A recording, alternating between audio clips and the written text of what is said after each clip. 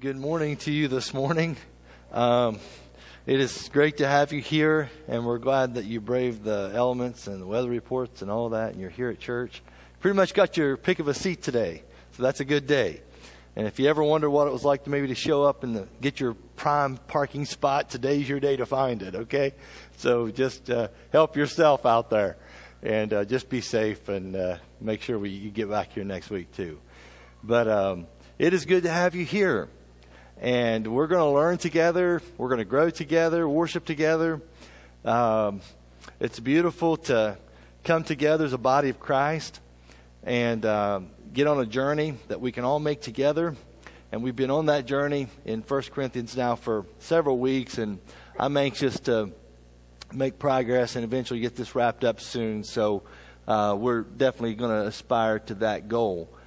Uh, uh, are you staying warm? Everybody comfortable? Right? Everybody's warm, and because it's going to get really cold out, from what I understand. Uh, I think some somebody said something like Green Bay was going to be like negative 17 or 19 or something. So, you know what? Uh, I think I'm just going to stay with good old Stones Hill Community Church. That sounds good to me this morning. Nice and warm. And I don't know if I had a ticket. Of course, it'd be great to see that game. But if I had a ticket, I'm not so sure that would go. It's just it's going to be brutal. So um, I recently uh, spent the night outside uh, in a sleeping bag, zero to 14 degrees, somewhere in that range. And so I'm still trying to get warm. And so if I shiver every now and then up here this morning, you'll understand why I'm shivering. I'm still trying to get warm. Um, we have a wonderful study in front of us this morning, and uh, it's a study that really it asks three things of us. Uh, first of all, I think we have to look at some guidelines that Paul uh, felt uh, and was inspired and felt was important to um, share with the Corinthian congregation. It was 1 Corinthians 14. There was one gift uh, among all the gifts, one gift in particular that had created some problems in the Corinthian church.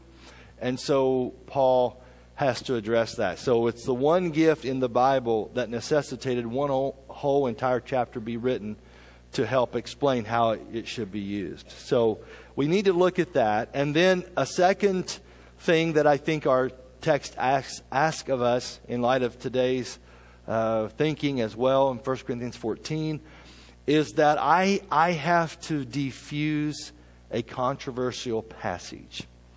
And the controversial passage comes later in 1 Corinthians 14, and it's about women keeping silent in the church, asking their husbands at home, kind of thing. Uh, and I believe in those words, but you'll have to hear me explain it before you can really uh, uh come up here and beat me to death after I'm done. Okay? I would like to make it home today, if that's okay. I made it here, and women, please do not beat me up.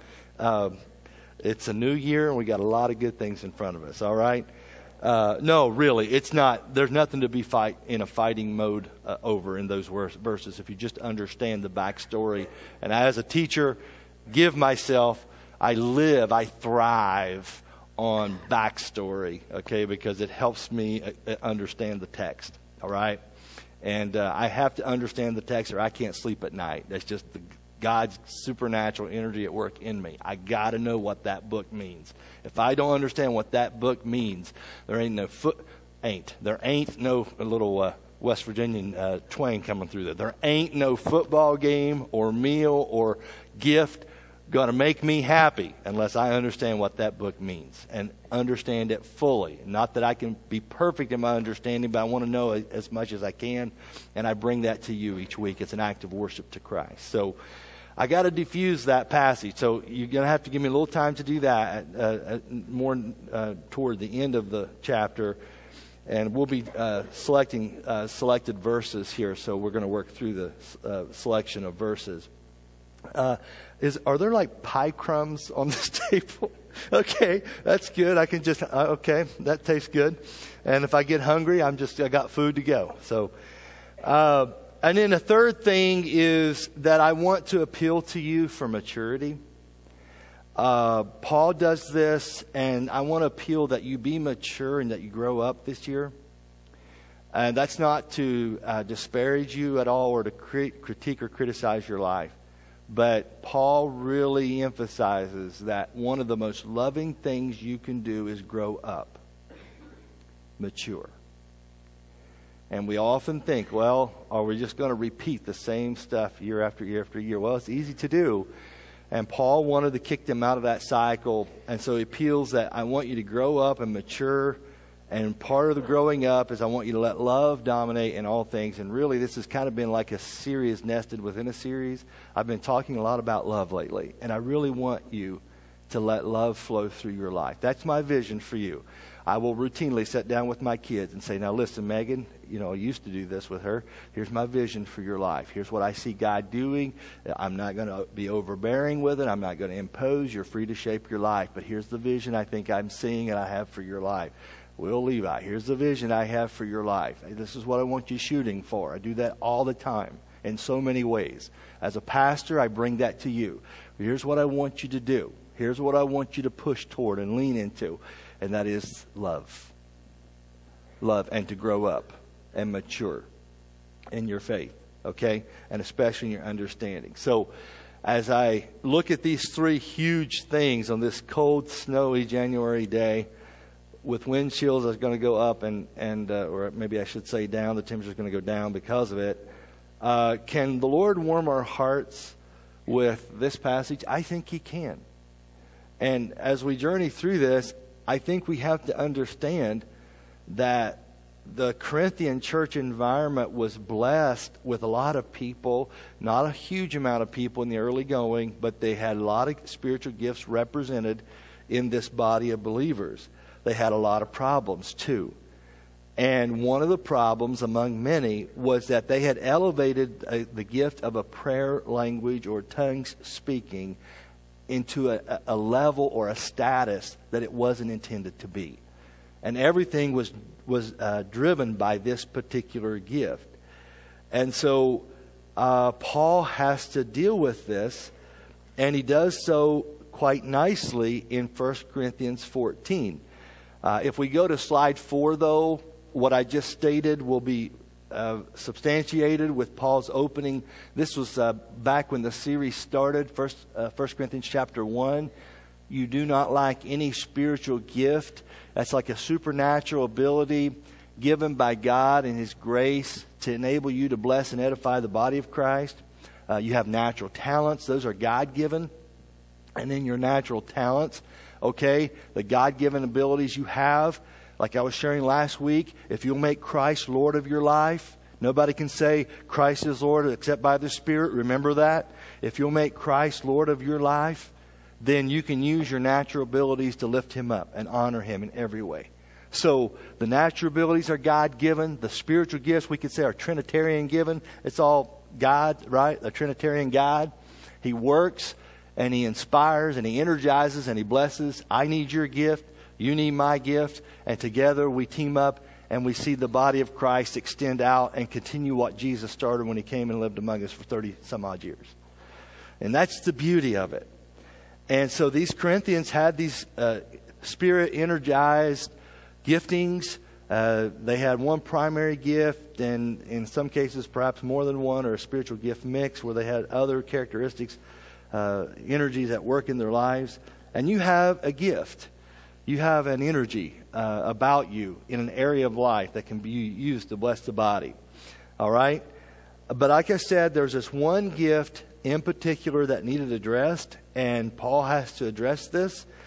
Uh, and when you combine a misappropriated emphasis on a gift, trying to make that gift be everything and, and much more than maybe it should have been, and you combine that with a self seeking spirit, then you had a recipe for disaster.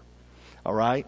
And so this is what we had a self seeking, not a kind, patient, love is, chapter, you know, 1 Corinthians 13, all those things. It wasn't those things that were dominating. It was a self seeking spirit. And anytime you bring that to a marriage, a family, a church, any group, a team, athletic team, whatever, anytime you bring a self seeking spirit, uh, it is a recipe for disaster. So in 1 Corinthians 14, the house church meetings had become disorderly. No one could understand what was being communicated. And the inquirers who were checking out these unique meetings that were unlike any other meeting in the city, these inquirers were coming into these meetings and they were walking out of these meetings feeling like it was more like a frenzied pagan festival that was right out of some one of the pagan temples more than about lifting up Jesus. That's just how, how out of balance this gift had become. And Paul says he checks it. And they were not bothering to interpret any of what was going on. Uh, they had multiple tongues speaking sessions happening. They were not bothering to stop and interpret any of it. It was taking up all of their time. It was sensational. They weren't able to dig into the Word together because, under the leadership of a gifted pastor teacher, because it was all given to the sensational one gift. It was, a, it was becoming a one gift congregation, and all the other gifts were being relegated to the sidelines and couldn't really work in the body like it needed to because the Corinthians, again, had, had prioritized this to a, a place where it shouldn't have been. And so Paul has to write about this. If we go to slide 5, in 1 Corinthians 14 27, he says, If anyone speaks in a tongue, or two, or at the most three, should speak one at a time, and someone must interpret. What does this tell us? Well, it tells us that there were multiple prayer language sessions that were dominating the meetings, and Paul limits it to two or three. So he places a limitation on this. He tell, it tells us also that they were not waiting on the previous speaker to finish. So Paul says one at a time. You're just jumping all over each other, and it's not productive and it's not edifying the body. And so he, he restricts it one at a time. And then this verse tells us also that they weren't bothering with interpretation. And Paul says if this doesn't happen, interpretation of this, these phenomena, then I want you to be quiet or silent uh, in the meeting. And finally, this verse tells us that someone engaging in a prayer language gift should not have to say, I just couldn't help myself. It's not that kind of an oper- uh, operation. You can help yourself. We're in full control of our spiritual gifts. And Paul's, he understands this and he lays out very clearly this is how I want this to play out in order to, for it to be productive in your meetings. Okay? And so there's, there's order and there's a level of control. And so Paul is not disparaging the gift of a prayer language. He does seek to bring it under control. And again, hear me on this. His big concern is not whether or not people speak in a prayer language or tongues. Rather, what he wants to emphasize is what is appropriate in both their small group and large group assemblies. And so he very carefully, methodically works through this issue. A whole chapter is given to this because of, of the role it was playing in, in uh, the Corinthian church. So occasionally, you had all the house churches of Corinth that would come together. You may have four, five, six people meeting in a little small apartment throughout the city of Corinth. They would come together, and then they would have um, these large group assemblies, these large group uh, meetings of all the house churches coming together. And we've talked to you. I've talked to you a little bit about that and some of the Lord's Supper abuses and things that were happening in those settings. Well, when they came together from these small groups, and they came together in large group assembly, the dynamics of everything changed. All right? Now keep in mind, Paul was presenting his recommendations and instructions with the understanding that the optimum setting for spiritual gifts to be used and at work would be in a small group setting. He didn't have a setting of 300 people in mind. A 300 people where, you know, if everybody brings a gift, we would be here for the next seven, eight hours. Right? He envisions small groups where everybody brings their gift to the small group. Four, five, six people. Everybody offers something. By the time you're done, hour, hour and a half later, the group has been edified and Jesus has been lifted up. Okay? So when we move this from the ideal setting of a small group setting into a large group assembly setting, it changes the dynamic of a lot of things. And so uh, Paul understands this and with the with uh, constraints and things of a larger group, also some of the other messages and things that were being conveyed through this uh, overemphasis on uh, prayer language, uh, he has to uh, give these, these qualifications for how this gift is to work. Uh, before, we, before we move on to these guidelines, let's look at slide six. Okay? If you're new today and you're wondering about what I'm talking about, uh, we work our way through the Bible methodically. We're in 1 Corinthians 14, it's in the New Testament. And it's a, a letter that Paul wrote to some early ancient Christians in 54 AD in, in Corinth. And, uh, and he's helping them work out what a new life in Jesus looks like. Okay? So that'll get you snapped in if you've not been with me for a while. All right? Uh, but this is what he says here in, on slide 6, 1 Corinthians 14 26.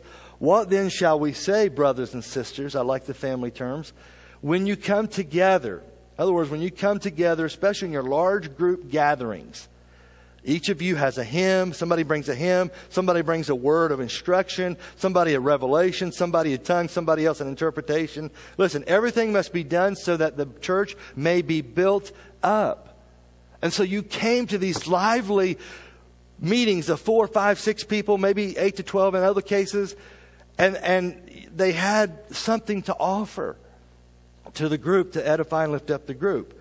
And if you think about it, all the spiritual gifts, with exception maybe a few, all of them work best in small group settings where you can pray and minister and learn what people's needs are and can pray for healing for those needs. It's not really designed to work in a large group assembly just like this.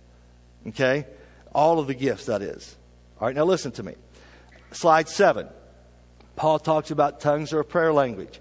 What is it? Well, Anyone who speaks, verse 2, 1 Corinthians 14, in a tongue does not speak to people but to God. And we see in Acts 2, it was actually human languages that were being spoken. And then later, it expands out to include a prayer language of 1 Corinthians 14. And then we also see in verse 14 of that chapter, for if I pray in a tongue, my spirit prays. So it's a human language as well as a prayer language. And Paul addresses this. Now, one of the things he does in this chapter is he quotes Isaiah, uh, uh, from the prophet Isaiah in 1 Corinthians 14 21. Isaiah 28, verse 11, it's a loose quotation. Okay? And as I'm digging into this, let me just read the verse and I'll, I'll explain to you what I think he's trying to convey. Uh, with other tongues and through the lips of foreigners, I will speak to this people, but even then they will not listen to me, says the Lord. Why in the world does Paul jump out in the Old Testament, quote this verse, ram it back into the New Testament, 1 Corinthians 14, and try to make a theological point with it in this conflict, uh, conflict driven chapter? Why does he do that?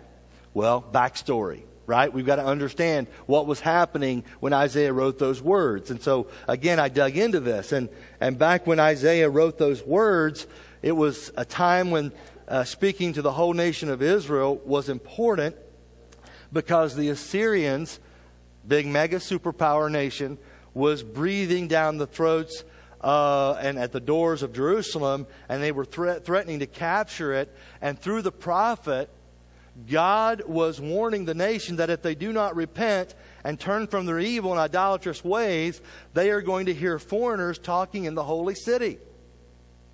That's what the verse is talking about. If you guys don't repent, destruction's coming, and you're going to hear foreign languages that you've never heard before, those of the invaders, and it's going to be a sign of judgment. That judgment has fallen. And sure enough, my study reveals, sure enough, 100 years later, Isaiah's words were completely fulfilled when the Babylonians came in and, and they took over the city in 586 BC, and the streets of Jerusalem were filled with foreigners speaking strange languages and tongues, just like the prophet said that they would. Listen, here's the pattern when Israel obeyed, they got prophets. When they disobeyed, they got foreigners. And so when we read on slide 8 now, slide 8, 1 Corinthians 14 22, tongues then are a sign not for believers, but for unbelievers. So, what kind of sign? Is it a good sign or a bad sign? And when we look at this, we see that uninterpreted tongues are not a saving sign, but a sign of judgment. It's a sign of alienation that leads to judgment. So it's a sign uh, of uh, unbelief. And it's not so much meant to stimulate belief as it is to seal unbelief. And so if I'm an inquiring Jew in 54 AD in Corinth now, at the time this letter was written, and I show up in a Corinthian house church meeting, and I hear uninterpreted prayer language, not only would it not benefit me, it would be a negative experience of judgment, you see. So, in other words, the inquirer or unbeliever is going to see this as condemnation. So, basically, how they're going to conclude this, they're going to hearken back to the time when the holy city was filled with foreign languages. And they're going to recall that. And then basically they're going to conclude so you're telling me, you, you believers in Corinth, that my heart is hard. You're telling me that you have kind of this insider language that you're not going to let me in on. Okay? You're telling me that I'm destined for judgment and I will never have God's favor, just like the nation of Judah in 586 BC and you've got this secret vocabulary and these rites, and you're not letting me in on it. So Paul didn't want to convey this to people because he knew that an age of grace had dawned in Jesus. And uh, to all people were invited to freely respond to Christ prior to the, to the coming kingdom. And so a new age has dawned in Jesus. And so Paul's like, we don't want to hang out this sign of judgment every week and people wander in and they're trying to get, you know, wondering what this meeting in Corinth is about, these house church meetings and large group assemblies that we come together. We don't want to hang out this sign of judgment and, and mistreat this gift in such a way that it, it conveys judgment on those who are a part of it. Slide 9 says, So if the whole church comes together, emphasis, whole church comes together, all the small groups come together and assemble and everyone speaks in tongues, and inquirers or unbelievers come in, will they not say that you are out of your mind? Paul says. So Paul is not, does not intend for this gift to be paraded in a large group public setting. It's not meant to do that and be used that way. And I know this may uh, contradict uh, some denominational beliefs and church beliefs and things, but it's not meant to be paraded in large group settings like this. Okay? Paul emphasizes that in this, in this passage. So, tongues, we could sum up here uh, before we get to the guidelines. Tongue speaking or prayer language is something ancient, and it does spark the imagination. It's like a relic from the past that surfaces in modern times, but it has overtones of judgment, especially if it's not interpreted. And so when we look at this, we have to bear in mind, like I said last week, we've got to love the gift giver more than the gift because eventually this gift, as well as other gifts, is going to be phased out. And we learn this from 1 Corinthians 13. We won't need the gift of evangelism eventually. Why? All will be believers. We won't need the gift of healings uh, in the future. Why? All will be whole. We won't need uh, the gift of church planning in the future. Why? Everybody's in the church. We won't need the gift of tongue speaking in the future. Why? Because we will not have a hard hearted Israel to contend with. Okay? So we use our gift but we hold to them loosely and we understand that the gift giver and loving him and loving people is just as important, if not more so, than, than uh, demonstrating all the gifts for personal gain. Okay? So it's a legitimate gift. It's an ability to pray in a, in a language understood by God or the one who was given the gift of interpretation at the time. All right? And this gift Ideally, it's used privately in your own time with God, or maybe with a prayer partner, or it could be used in a small group setting with six to eight people together. But as far as the large group setting goes, I do not think that this gift was meant to be paraded in large group public worship service gatherings. Here's four reasons. Slide 10, reason number one. Again, to sum up, first uh, of the argument he's making here in 1 Corinthians 14. It is for personal edification more than for the whole church. Verse 4 Anyone who speaks in a tongue edifies themselves, but the one who prophesies edifies the church. All right? And the point here is that since this gift is designated for personal edification, I believe the Bible teaches it should be used for time alone with God. And if you speak in tongues or a prayer language in your quiet time, uh, pray for me while you're at it. I always appreciate when people pray for me. Uh, and if we're in a public worship service here at church and you sense a prayer language moment, what I would encourage you to do, if this is your gifting, is I would encourage you, and I've talked to my prayer team about this, uh, to go join with my prayer team and pray with them. If this is your spiritual gift and you feel that there's in a moment that there is a you're wanting to communicate with the Lord and, and and there's a prayer language moment that you're in and you don't want to be disruptive and things, I would encourage you to go pray with my prayer team and they meet right back here. And I've instructed my prayer team on how to how to uh, kind of be alert to this. And uh, some of my prayer team pray for me sometimes in a prayer language. And uh, what I would just say to you is if this is your gift, go just quietly slip out and go pray with my prayer team. And then they will they will make sure that it gets things get communicated to me as as need be. Okay? And that's probably the best way at this time for us to handle this spiritual gift in large group assemblies and settings. Okay and so it is uh, bearing in mind that it's for personal edification more than for the whole church. Paul makes this point, and we want to focus here when we're together in a large group. We want to focus on that which edifies everybody, the whole body. That's the point he's making. Okay? Uh, he says in verse uh, 28 of 1 Corinthians 14 if there is no interpreter, the speaker should keep quiet in the church and speak to himself and to God. So that tells you that it's not some out of control phenomenon. We are in control of our faculties, okay? And so I'd encourage you to go that direction. Now, secondly, we are to focus on building others up, not ourselves in the public worship gathering. Verse 9 Unless you speak intelligible words with your tongue, how will anyone know what you are saying? You will just be speaking into the air. And that's why I would recommend that this gift be not be paraded in a public service. Rather, it would be uh, focused in small group settings or private settings or with the prayer team, and let the Lord use your gift in that way.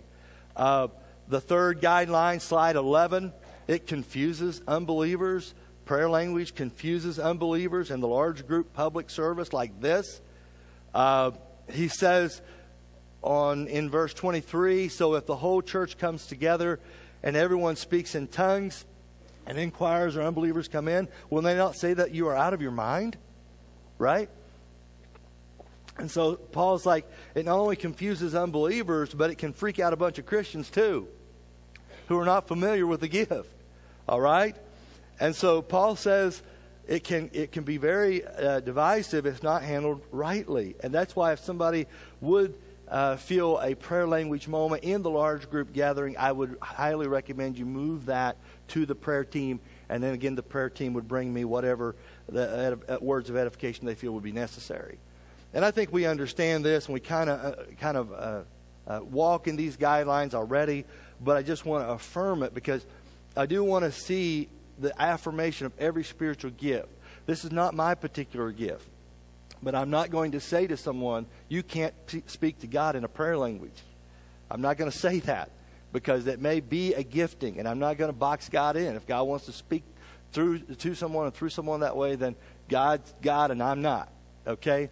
But I do think that from what we see here is that we can abide by these guidelines that I think that Paul is giving to us, again, to avoid a Corinthian type of issue. All right? Uh, fourth and final guideline here ideally, again, it's not meant to be used in large group or public worship services and settings, but in the church, the large group gathering, I would rather speak five intelligible words to instruct others than 10,000 words in a tongue. Brothers and sisters, stop thinking like children. Listen, he's saying, I'd rather say five words in a large group setting where all the small groups are together and you can easily understand it. You know, Jesus loves you. Praise God. five words. I'd rather do that than speak 10,000 words in a tongue. Okay? So again, the focus is in the large group, we're going to edify everybody and we're going to teach the word. And we're going to make sure that's the focus because that'll ground it. It'll ground all the spiritual gifts and how they operate in the church. So, Jesus loves you. Praise God is more edifying, especially to some guy that comes in on a snowy day looking to maybe hear what God has to say, never been to Stones Hill before. It's just going to work a whole lot better if we do it as Paul has uh, counseled us to do it here. Okay? So, if we go, uh, the, I'm sure there's probably more that I could say about this, but again, I've got con- time constraints too here this morning. And so, you know, we're all anxious to get out here and freeze to death, right? Uh, so, you know, I got time constraints. So I'm going to leave it right there. Uh, there's more that could be said about this, but I think this is probably going forward what needs to be stated at this point.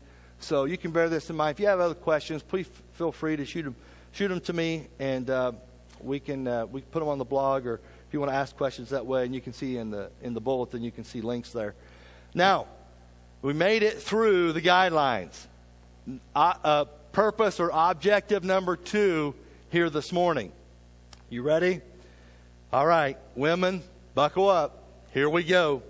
All right, men, all right, put your arms down, protect your ribs a little bit. Okay? Here we go.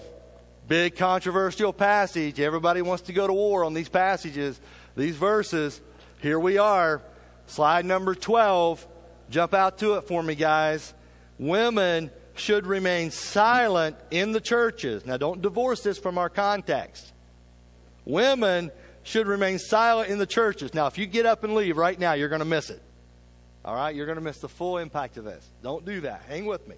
They are not allowed to speak, but must be in submission as the law says. If they want to inquire about something, they should ask their own husbands at home, for it is disgraceful for a woman to speak in the church.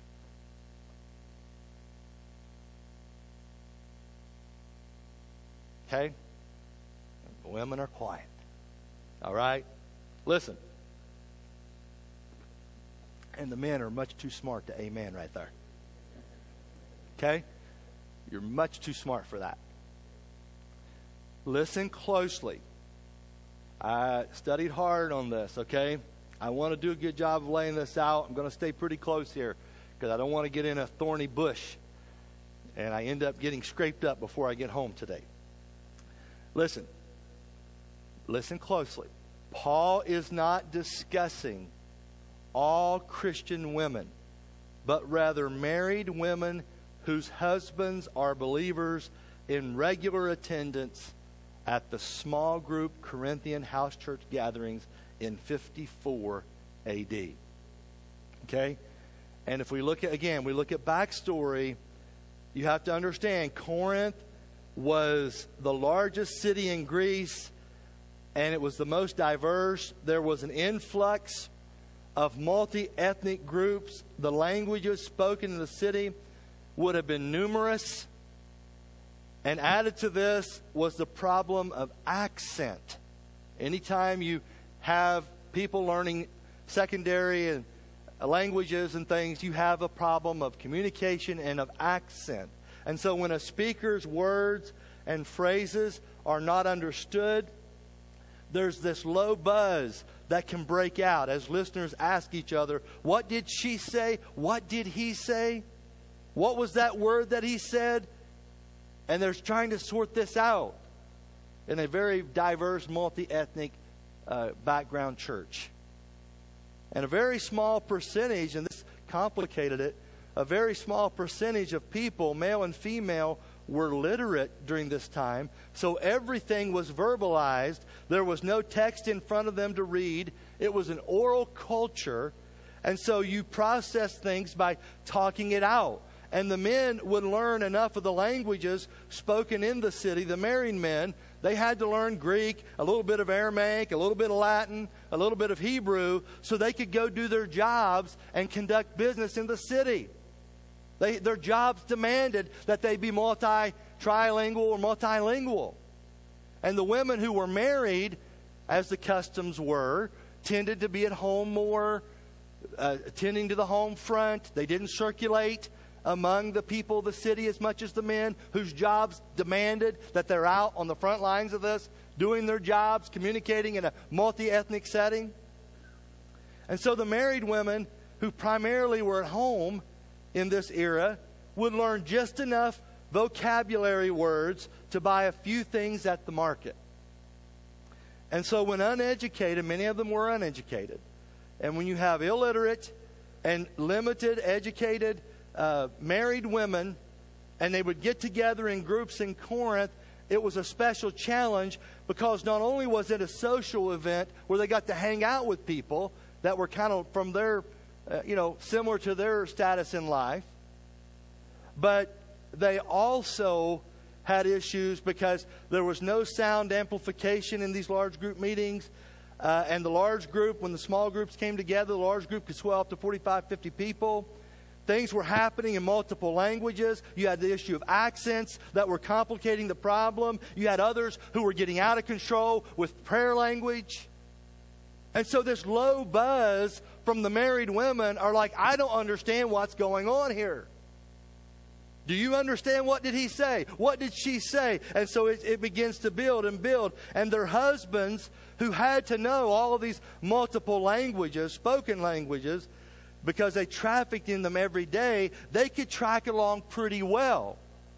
But the married women didn't have as easy, as easy of a time doing that. And rather than wait and let speakers finish, or rather than uh, give it some time and maybe ask their husbands kind of quietly later, uh, there was this low buzz that would grow and grow and grow, and eventually the women, the married women, just finally gave up. They started chatting, and it came across as rude and disgraceful in the public assemblies. And so Paul says, you know, the women, the group of women, the married women, that where this is happening, he says, What I want you to do, ladies, is we'll do our best. I'll do my best to regulate what happens in your large group assemblies so you can get a lot out of it.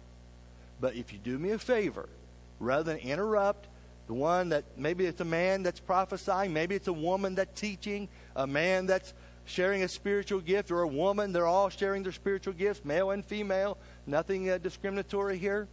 You have a spiritual gift, you were invited to share it, and you did. But he says to these married ladies, Would you do me a favor? Wait till you get home.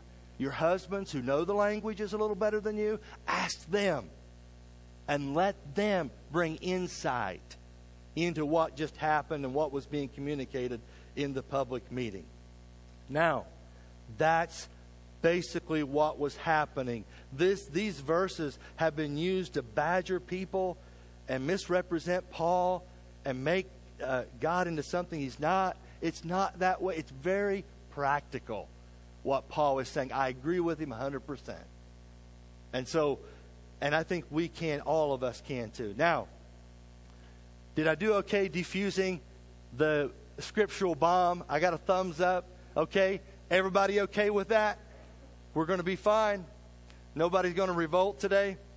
Okay a third objective here in light of all of this, and I'm anxious to move on to other things, okay?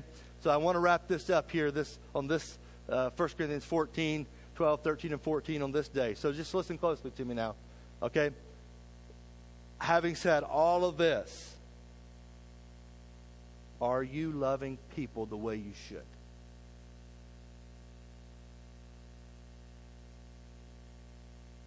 Okay?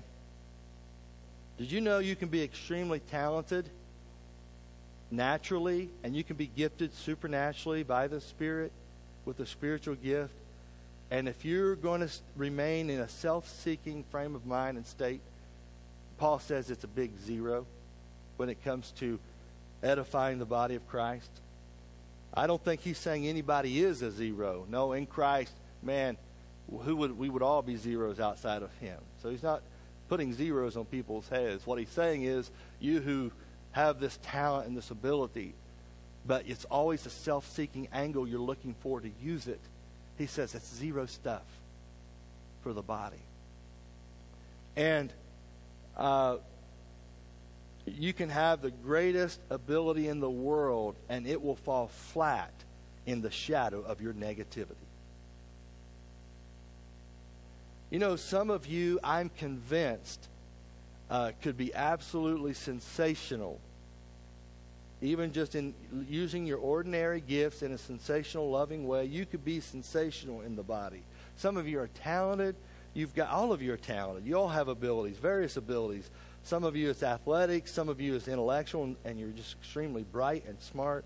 Some of you are mechanical. Some of you relational. Some of you are well spoken. Some of you are just really good thinkers. You're balanced. You're a hard worker. Uh, and what I sense this morning is what I what I think Paul was sensing in this text is that you have so much love that could flow through your life and the love revolution that Paul was promoting here could just really take off in your life, but there's these things that have gotten in the way. See, you get hurt and you won't forgive and love stops. You get bored with routines, and so you got to jazz up a spiritual gift just to make life interesting because I'm bored. You get selfish and won't play your assigned role. I want more power, more authority. I'm not content to be in this role. Uh, you get irritated at God and make war with Him, and we all do this sometimes, but uh, some of us never get past this. We never grow past it. But we get irritated at God. We make war with God over His perceived not involvement in my life. And so God's not in control here. I can't trust Him to take care of things. I'm going to promote my interest. Or maybe you get disrespected and you start looking for payback. Uh, or you get cheated and you start keeping a ledger. 1 Corinthians 13. Here we are, once again. Uh, or you start feeling entitled and privileged because look how good I am at this, or I can do what he can do, only better, or she can do, only better. And with every decision like that, this is Corinthian stuff, okay? Every decision like this, love becomes less and less in your life. And maybe this morning, it's time that everything that comes out of your lips be filtered with a love filter. Maybe that would lift up Jesus in a greater way than ever before. And one of the most loving things you can do in 2014 is grow up, is mature. And I'm not disparaging. I'm just presenting what Paul is saying. In fact, slide 13. Look at slide 13. This is back in 1 Corinthians 13 11. Stay with me now. When I was a child, an epios, what is that? A three or four year old. When I was a three or four year old, I talked like a child, as in prayer language. I thought like a child, as in prophecy. I reasoned like a child, as in knowledge. 1 Corinthians chapter 1, verses 1 through 3, the three biggies, where he ascends them. He starts with prayer language at the bottom. He works his way up to kind of defuse this emphasis in Corinth. And now he reverses it again and says, you know, there's coming a time, church, when these gifts are going to be phased out in light of an of an of a coming era. So don't fall in love with these things. Grow up, use them as God enables you to use them, but don't make it all about you. Let love come through. And so I would just, and, and, when you see this, he says, When I became a man, I put the ways of childhood behind me. What are the ways of childhood? immaturely using my spiritual gifts, immaturely insisting on self seeking purposes in life. What, what, hey, are you still acting like a child when you should be acting like an adult? That's a question we really need to ask. And it will mess up our new year and it will mess up any group you're part of when you when you refuse to grow up and you remain a little toddler. Uh, what I thought about this, you know, I've I've had three kids. All right, well, I still have three kids. I, far as I know, uh, Okay? And I've thought about this. What have I observed in their lives? And then I went further. What have I observed in my own life when I was a little boy, a little three or four year old? an Anepios. All right? What was I like? Well, I think we can safely say four things about children. Children are willfully defiant. I'm not doing that. Huh? Anybody ever do that in your family? You're like, Matt, my husband did that this morning. Okay. no, no. I'm not doing that. And just please excuse and pardon the immaturity here. I just want you to get it. All right? And they stomp their feet and they set their little jaws and they fix their gaze and they're going to tell you what time they're going to go to bed, what time they're going to get up, what they're going to have for breakfast, lunch, and supper, and what you're going to get them for Christmas and how it's all going to go. And if you don't do that, here comes the tantrum. Right? Huh? They were Corinthians were doing that in the church. You won't let me use my spiritual gift.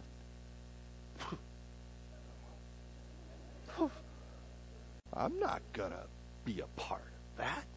Right? That's what they were doing. And Paul says the greatest thing you can do is grow up. What a loving thing to do. And we don't have to watch this anymore. Okay? That's what children do. They're willfully defiant. What, what else do children do? They are superficially committed. Huh? Listen to me now. Who ends up putting the model airplane together that they got for Christmas? Who ends up doing it? Right? It's usually old dad, right? Or mama. Uh, it looks good. And it looks fun and all that. I'm going to put about half of it together. But who usually ends up doing the rest of the work? Huh? Sure. They're superficially committed. I like what it looks like on the bo- model box, you know, the picture, but don't ask me to do all that stuff and, put, and stay with this and put it all together. No. Huh? That's what kids do. They're superficially committed, they're willfully defiant, they are easily influenced. Just watch how they act after they watch cartoons. Huh? Sure. They, they watch cartoon and they think they're Superman and they put on their bath towel and here they go.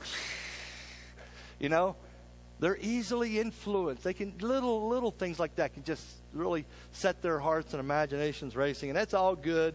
You know, it's great to be a kid, but they are easily influenced, right? And then finally, children demand attention. I want to be seen and heard from. And you're going to hear from me. And you're going to know I'm here and I'm going to be nice and loud, or I'm going to bang around. You know what? I'm going to bang some pans in the kitchen so you'll get the hint. Come in and help me. Right? Or, you know, I demand attention. I'm e- and uh, this is so childish. It's so childish when adults act this way. And uh, when we demand attention, we're easily influenced. Somebody can say one little word or one negative thing, and boy, you've bought the whole thing. Wow, that must be true. So easily influenced, and you wash back and forth. You don't know who you are when we act this way. Okay? And so Paul says, Come on, Corinthians, grow up. Stop demanding attention. Stop being so easily influenced by little negative comments. Stop being so superficially committed when you run into a few challenges, stop being so willfully defiant and stomping your, your feet and demanding things that go your way. Did you know that this is one of the greatest acts of love you could demonstrate this morning if you'll just grow up and be a man or be a woman that honors the Lord? Listen, slide 13. Ah, man, I got to go. Uh, these three remain faith, hope, and love. But the greatest of these is love. All right? Paul gives them a new triad. All right? Prayer language, prophecy, achieving heroic spiritual status. That was their biggies, and Paul replaces them. He says, What about faith, hope, love? Faith that, that in the crucifixion and resurrection of Christ, God has inaugurated the eschatological events leading to a new age, and it's, it's, it's coming, and it's going to break into our present age, and it's going to be totally revamped and different. What about a life that gives faith, a life that faith can live like this? What about hope? He says. The hope that enables the faithful to endure the sufferings that they're currently in and that other problems that they may have, the hope that maybe tomorrow will get better. And what about, instead of being sensational martyr, what about just love? Love every day. Love people that you encounter because it's what holds community together. And so, friends, you've, you've stayed with me now, and let me get passionate. I'm not angry, okay? Let me get. Sometimes when I get passionate, it maybe comes across as anger, but it's not anger. It's passion. I really believe this. I really believe this. And, and if I restated all of it, you know, maybe if I, when I get passionate, if I smile more, maybe that would help, would right? Smile more. I could smile when I'm passionate. All right? And so uh, let me smile while I get passionate about this. And I'm looking over all this material and I'm thinking, you know, what what is it that we need to hear? What could really revolutionize us? And I think as we look at this, instead of using a sensational display of spiritual utterance to gain attention, and it is one of the spiritual gifts, so it's legit, we're not disparaging that. But instead of pursuing that as the biggie, how about just getting up and going to work every day and using all of your words to build up other people in a way that engenders faith in them. Try that out. And uh, instead of wowing the crowd with all the future will bring, and don't misunderstand, I love prophecy, and I've done a whole series of messages on Revelations, okay? But instead of wowing the crowd with all the, that the future may bring, how about giving someone just a little bit of hope that their tomorrow will be brighter because you're in their life loving them? How about that? And instead of becoming a, a, hero or celebrity, and there's nothing wrong with that if God uh, gives you a platform, you know, uh, a special gifting and ability, and you can use those giftings and abilities to honor Him. Okay. But instead of becoming or angling for hero status, how about just doing little acts with great love every day for as long as you have life? I've shared with you before you have all the spiritual gifts you need. We don't need sensational people at Stones Hill. We need radically committed people who will love like this every day. You know, I want to wrap it up with a story of love. It really is an incredible story of love. It defies all the odds. And true stories are always full of both ugliness and beauty. Okay? And this one's no different. It comes out of Auburn University. And you might think that the latest great thing to come out of Auburn University was the touchdown that Chris Davis scored with no time left on the clock and a 28 28 score. I was going to show you that clip, but we're running a little limited on time here this morning. So just know that the Alabama field goal was short. Davis fielded the short kick, ran 109 yards uh, for the touchdown, and it was a come from behind victory. It was an extraordinary story, and everybody thinks Auburn's the greatest thing. And they're going to play tomorrow, and probably some of you guys are getting uh, waiting with bated breath, right? You're waiting for that game. You want to see what happens against Florida State. But I want to tell you another story that comes out of Auburn that's, I think, a lot better than that one. A married woman was sexually assaulted in California, and she becomes pregnant happened several years ago. And compounding her pain, her husband gives her an ultimatum. He says, Abort the baby, and if you don't, I'll divorce you. And that's the ugly part of the story. Again, she's assaulted sexually. She, uh, a, a baby results from this. And the woman decides courageously that she's not going to have an abortion, that instead she's going to give birth. She moves to Alabama, she's put in touch with a Christian adoption agency called Lifeline Children's Services. And Peggy Dutton and her husband are on the board of Lifeline, and they get to know this courageous woman who uh, has conceived a baby, and this ba- this woman gives birth to a child, and this this couple that runs this Lifeline, they agree to adopt Molly's baby, uh, or this woman's baby. And two days after Molly's birth, they adopt her, and the little girl that was born was named Molly. And she grows up living an average suburban life, and she attends Auburn University now. She's a horticultural student. And almost no one there knew her story until friends urged her to run for homecoming queen. And so Molly chose alternatives for women facing crisis pregnancy as her theme, as her platform for this homecoming event. And she told her story, and it spread like wild, wildfire, and it became kind of a viral deal. Slide 16, to kind of tell you the end of the story. This lady who was conceived by virtue of a sexual crime, but a mom who would not abort her, this young lady is the homecoming queen 2013 at Auburn University. Beautiful lady. And uh,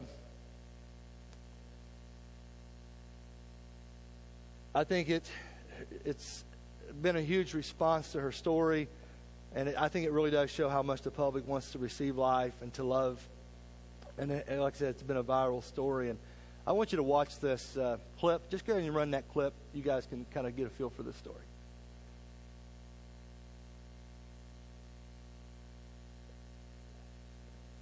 This weekend, Auburn University. Well, I guess if this thing No, comes up short, he that's, can uh, field it. That's And clip run we it out. All right, here we go. There we go. This past weekend, we. Auburn Thank you. University crowned. Well, I guess Yeah. if this okay. thing comes now up we're short, playing he can together. field it We're having fun. and run it out. All right. All right, here we go. No, you had it right. Go back. This past weekend, Auburn University crowned its 100th homecoming queen. In Auburn University, Miss Homecoming is Molly Ann Dutton.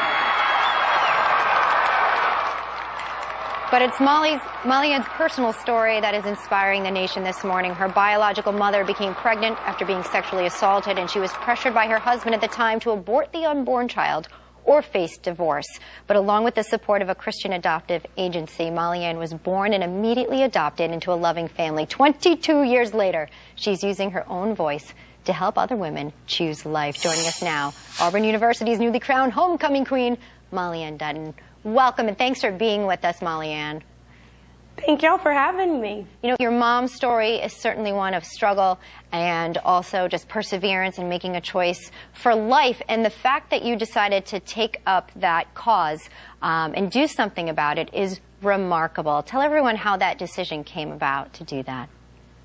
Absolutely. I knew if I wanted to share one story on Auburn's campus, I did want it to be impactful and reach all different areas of Auburn's campus. And through the encouragement of two of my friends, um, we were actually at lunch and we kind of tossed a couple of ideas out there. And I walked away from the table and they started chatting. And I came back to the table and their eyes were vibrant. And I asked them, What are y'all talking about? And they said, Molly, and you need to share your story because I have been graced with a very impactful story. Yes. And um, from there, all three of us started tearing up, which isn't very rare for three women to get together and Right. start crying. But however, it was just confirmation that that's the words that Auburn were gonna, was going to hear. Well, they certainly knew your story. Um, will you share with America now the story that got you to this point of your mom at 22? Absolutely. Yeah, I'm actually the youngest of six kids, and the latter four of us are all adopted, so we filter in from all different families. And my biological mom was a young married woman who lived in California, and through some series of events, she found herself the victim of sexual assault and pregnant through that act. And um, she went to talk to her husband and talk through this, and he just faced or gave her an ultimatum to either abort the child or suffer a divorce. But that's when her journey did take her down south to Birmingham, Alabama. And there in Birmingham, she found Lifeline Adoption Agency. And Lifeline is not just an adoption agency, but it serves as a banner for education, prevention, and support for women and men going through those really critical times in their lives. So my mother walked into the office and needed counseling, and because that resource was made available to her, she decided to give birth to me. And here I am, sitting here before y'all 22 years later, declaring how radiant my life has been. And um, like you said earlier, my um, my parents were actually serving on the board of Lifeline when my birth mother walked in the doors, and that's where those lines connected. And since then, I have been in a very loving home. In lighting up the world, you certainly are. Talk about light up life. This is your true cause. There have been glow sticks and T-shirts out there, and that's your slogan. What does that mean to you and everyone? Yeah, so we really um, were very interested to see how we were going to display this. What's been hilarious is the from Friday to Monday of this past week, we tried to prepare ourselves how 25,000 Auburn students were going to receive this story. And we had no idea how the public was going to receive the story. That was just not in our mindset. And we knew there were a lot of stigma, or there, words like sexual assault or abortion, or even life carries a stigma in itself, mm-hmm. a negative stigma. Um, however, we knew that we wanted to make it fun and to know that life is so light and radiant, and that's how Light Up Life began. And we tossed around like this is a story of restoration and hope, and those were in the mix of all of this. But Light Up Life was so perfect because it is something to be celebrated. And like you said, we had glow sticks and T-shirts. We passed out daisies on the Aww. concourse just to celebrate what life really is. You know, Molly Ann Dutton, you are a difference maker. You're a living proof of that, and I love that the choice of life is something you're bringing to the foreground. Um, we wish you well. You're graduating this year, and you continue to just light up life around you. Thanks for being with Thank us. Thank you so much. Thank you. Wow, only God. You know, and what a mature, um, loving, um, love centered decisions that were made to result in this life. Only God can take something so horrible and create something so beautiful. And that's what I'm asking you to do is to love in a way that defies ex- explanation. The woman had every right to terminate that pregnancy, every right but she something in her chose to do something different because she felt motivated by a force unlike any other forces around her and people that she was listening to. And now this beautiful person gets to share the love of Jesus only by, because of the grace and love of God. So, you know, guys, uh, what I would just say to you this morning is that life is short you can spend your time hating and hating on people, but I tell you what, when you get to the end of the road, it's not going to be how successful you were hating people. It's who you loved and who you really cared about and how you invested in their life. Uh, and when I think about Jesus, you know, he's the ultimate spiritual gift guru, right? I mean, he has all of them. Like he was a prophet, he spoke the words of God. He was a servant. He watched. Uh, we watched him gird his waist and wash the feet of his disciples. He was a teacher. He was an encourager. He was a he was a, a leader who organized for the church's future. He was a mercy shower. The lame and the and the broken and the blind felt safe with him. I mean, here's a guy that had all the spiritual gifts. And friends, if you don't know him, you'll never, ever be able to see your life accomplish all it was meant to accomplish. And so the ultimate gift you can open is the person of Jesus here as we start a new year. And, uh, and one of the grievous, most grievous things here, stay with me, I'm wrapping up, okay? The, one of the most grievous things is to not to think that you would live your life and never open the gift of Jesus. And we talk about all these other things, and it doesn't, it's not going to work unless Jesus is something that you personally open and say, Lord, I, I want you in my life. I want this dynamic body of believers to impact me and change me. And it's, it's kind of like, let's say you were a good, I was a good friend of yours, and I sent you presents and I, for like two or three years, I sent you personal presents. I wrapped them up nice and neat. Well, I don't wrap nice and neat. Okay? I wrapped them up. They're in something. I sent these to you for two years. The time finally comes. I get to come visit you. Right? And you, you're taking a shower, and I get nosy. Okay? And I start looking in your closets and stuff. And I look in a closet and I see all those presents I sent for the last two years unopened in the corner in your closet. How do you think it's going to make me feel? Now you're starting to get it. When you refuse to open your gifts, it's grievous. It's, it's like Christ is like, man, I have all this to offer in and through them, and they won't open it. And ultimately, I've given them the gift of me, and they won't even open that.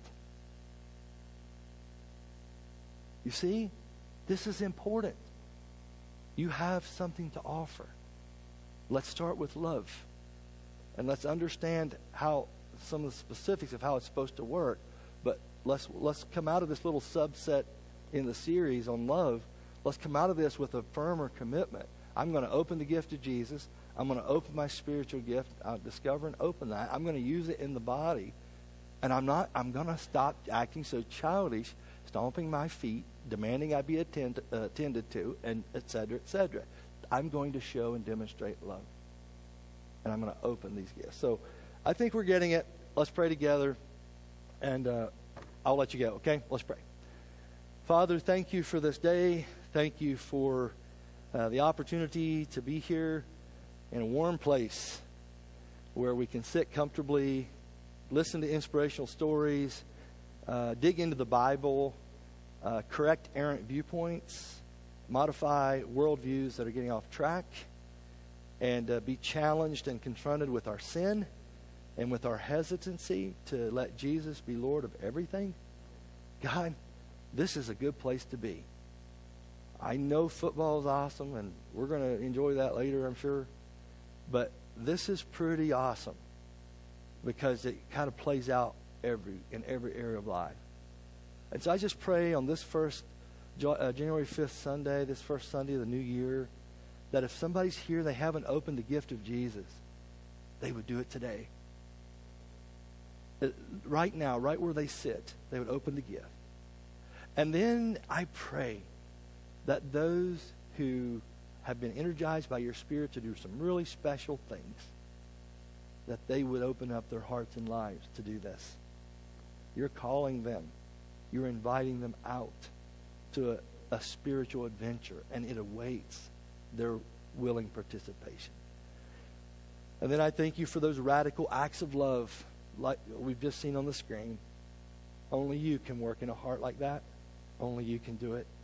And I ask and pray that if there's those here who need a story of love to invade their stories, that would happen this moment, this week, this stage of life. And you would do the extraordinary and take the ugliness of our true stories and interject your beauty into them. In Jesus' name, amen. Stand with me. Thank you. You've been a great group. Have a great day. Be safe. And we'll, uh, we'll see you next week. Blessings.